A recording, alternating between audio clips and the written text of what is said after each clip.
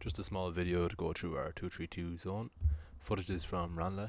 They do some things well and they do some things kind of poorly, which can definitely be improved on in this video. Uh, first thing to note is the effort from the handler marks to get down on the force. As players set up, we can see our two handler marks forcing middle, our two wings, and our rove. The deep is off screen but is level with the deepest offensive player.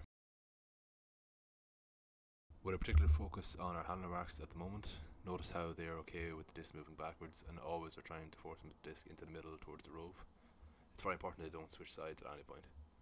Notice how when the disc gets by them, the whole zone shifts deeper and the handler marks put on the force again. Nobody except for the handler marks should ever put on the force. Uh, notice the left handler mark, tries to cut off the backwards pass, he leaves the middle of the zone open to attack. See again how he tries to stop a quick pass back but allows a pass through the middle instead. He recovers well, however. Finally, as the swing comes off, he works to stop the downfield pass before closing in on the defender. Uh, with focus down on the rove, he has positioned himself between the handler marks to cut out any of the short passes through the middle. He's playing super aggressive to close to the handler marks. Uh, when we play our zone, we will have a shallow deep, which will help out the rove much more than what is shown here. Uh, notice how his head is always scanning for threats on either side. He's always aware of what's going on around him. Most importantly, the wing will tell him to cover someone coming into his area and they will trade off that responsibility. Looking at the wings now, the wings are trying to stay as close to the rove as possible to help them out, but also baiting the over the top throw to where their player could potentially be. Notice how the wing is aware of the threat on the wing, but is leaving him as he can recover in time. When a pass does go to the wing, he lets the handler mark put the force on and deals with the downfield options. Finally, as much as possible, he faces into the middle of the pitch, see as much of the pitch as possible. After this handoff, he tries to get a D on the pass to the sideline, but recognises he won't get to it in time, so he stops the next pass downfield.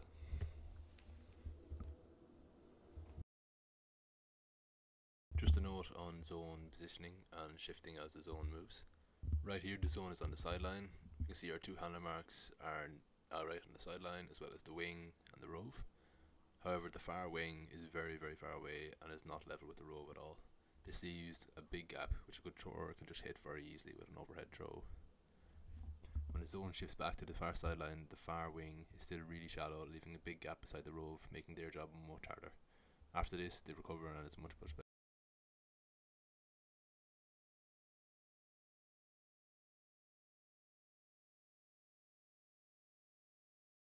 Final note on zone offense.